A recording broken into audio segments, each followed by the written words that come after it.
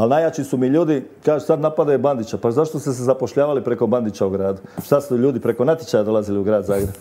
Ne, dolazili su bili, su bili lijepi, zgodni, pametni. Ne, i onda su se oni zapošljavali. A tata, mama, sestra, baka, sestra, strina, mlikorica, ovo, ovo selo, ovo brdo, ova padina, svi u grad Zagreb. I sad se svi čude ono ko Milan Bandić, nikad čuj. Pa tako je bilo i kad je umro Josip Broz Tito.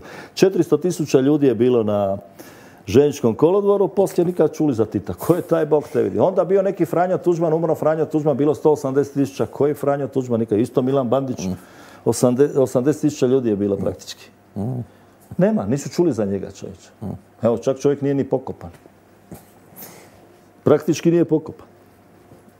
A drugo, ako taj čovjek nije toliko valja, pa što su ga birali šest puta? Pa što nisu rekli pa dosta? dobro, dobro, a mislim da će Tomašića bira šest puta. Pa ovaj. to je u redu, ja mislim barem sedam puta. Barem sedam puta, ja očekujem da će Tomašića birati, to bi bilo u redu, tako da ovo bude jedna, e, da se Zagreb preimenuje u Jakuševac. da, da, da. Šta? Ne, imate nešto, aha, nemate ništa, aha, koliko je sati? Pa ne, imaš još vremena. Ima još vremena, ovaj. Sinke, ti poslu pitanja, sad da vidim, ajde. Ma ne, ali gledajte, recimo, oni hoće napadati, što nisu napadali Tuđmana dok je bio živ? Nisu. Što nisu napadali Bandića dok je bio živ? Što nisu Tita napadali dok je bio živ? Ne, svi su šutili. Nije se moglo, kaže, nije se smjelo ići u crku. Pa naravno, rođo, da nisi mogao ići u crku kad si bio sekretar partije. Dobro, pa istina, da. Pa u biti da, sad kad razmišljam ovaj šta je Tomašić, kako je ono prosjedo vezo sa lancima nešto bio.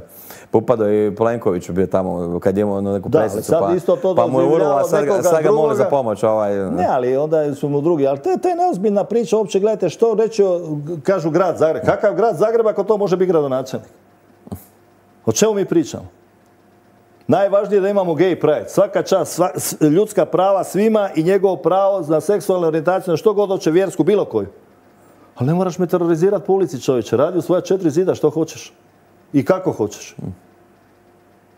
Šta bi se sad trebala skupiti ekipa koja nije e, gej i onda bi oni trebali demonstrirati. Pa zamalo je tako nešto bilo, ali mislim da je otkazano. nema to, nema potrebe da se takve stvari rade, ali to, to, to je skretanje, skretanje sa pravi problema. Naš pravi problem je deindustrializacija Republike Hrvatske, nemamo nikakve proizvode, poslali smo kolonija, mi smo njemačka kolonija, sad smo svojim ratom Ukrajina, Rusija postali ovoga, e, i se vidi da smo svi, da je cijela Evropska unija američka kolonija. A tu, tu kad, je, kad je Njemačka preklađena, mi umiremo od upale pluća. A Njemačka je ozbiljno bolesna. To znači da, se, da Hrvatska nikako ne može na zelenu granu. Nas ovi, spašava ovi dva metra ili dva kilometra ako hoćete uz more i to je razlika između nas i susjeda, inače bi praktički bili gladni. Jer nama, naša cijela nacija živi od tog nesretnog turizma koji je prešao 20%. Turizam u normalnim zemljama tipa Francuska, Španjolska, Portugal, Grčka, ona mora biti 6, 8, plafon 10%, a ne može biti ovo kao kod nas. Šta je sljedeća faza da pojačamo turizam? Prostitucija. Pa da, to je faza kada dolazite do 25%, onda imate prostituciju na tome. To nije smiješno, to su statistički podaci. To je realnost i to treba spriječiti. To svako ona će se prostituirati ovaj, na kraju. Kad svako će se ona prostituirati kad vidimo da nema para ni u čem drugom. Ovaj. A idemo malo sa pitanjima. Ovaj.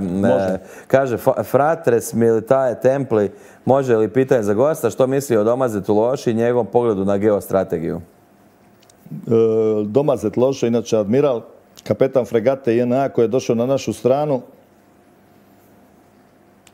sigurno je pismen. To je sigurno da nešto zna, a sad da li je to sve utemeljeno u tome što on slaže, pokazat će vrijeme. E, inspektor Maček, pozdrav, kaže kako je poslije emisije na HRT-u reagirala Maja Sever na vašu izjavu da su svi e, zaposleni preko veze pa je na HRT-u najviše. Sutra da je ukinuta emisija. I nakon toga više nisam pozivan na HRT. Nijednom baš? E, Vlaho me zvao dva puta, međutim Vlaho je imao problema pa sam mu rekao da je bolje da me ne zove. Nisam omiljena, ono persona non grata, ne? Drugo pitanje, dokad se možemo svom biračkom tijelu može još izvlačiti da je sve to ostavština bivše vlasti? Pa to je klasična priča u Hrvatskoj. Nama je kriva Austro-Ugarska bila, pa nam je bila e, Kraljevina Jugoslavija kriva, pa nam je Jugoslavija kriva, pa nam je sad Hrvatska kriva, pa Bandić će biti kriv još najmanje 50 godina. Najmanje 50 godina. Minimum je kriv, ratni zločinac, sve ove što je zaposlio, to nije istina, oni se svi preko natječaja zaposlili. Ovo što je recimo ja, najveći plus što mu ja uzimam, kao neko koji je ipak odrastao u nekakvom gradu, Hrvatska nikada nije imala glazbenu akademiju. Eto, ja mu smatram recimo glazbena akademija i muzej suvremene umjetnosti. iako bi muzej suvremene umjetnosti trebalo dignuti s izložbama, to je ono provincijska ekipa, ne znam, vodi. Sad je bila neka Slovenka koja je dolazila u ponedjeljak eventualno ili utorak na posao, u četvrtak odlazila za Ljubljanu i tako dalje. Sad je ona otišla, sad je novi natječaj. Recimo, mi, grad Zagreb bi trebao napraviti uh, znatno, značajni kulturološki iskorak da na taj način također privuče turiste da dolaze u grad Zagreb. Isto kao što smo nekad dok je bio taj nenarodni neprijatelj prijatelj ovaj, Milan Bandić, pa kad smo imali ovaj advent, ovaj advent sad sam gledao kod je ono u Guantanamu napravljen, kako su složili one kućice na trgu Bana Josipa Jelačića, što je sramotno. Mislim, oni, oni čak ne znaju ni kopirati, nego i to upropaštavaju. A ovo što se dogodilo, recimo da se vrati na Jakušec, to se nije dogodilo slučajno. Oni bacaju bi otpad tamo gdje ga ne smiju bacati. I niko nije priveo ni stanovitog šefa čistoće, niti je ko postavio pitanje šefu grada Zagreba, niti ih je ko priveo. Rekli su da je kontaminiran uzorak, da se baš igram slučaja taj uzorak našao ovaj na krivom mjestu. Uvijek je na krivom mjestu i naravno da su oni nevini, to se podrazumije. To je 100% Bandić, ja sam čuo da je neko šuljao sa Mirogaja, da je Bandić došao to minirao i to je odletilo u zrak i poslije se tiho da ga niko ne vidi vratiti.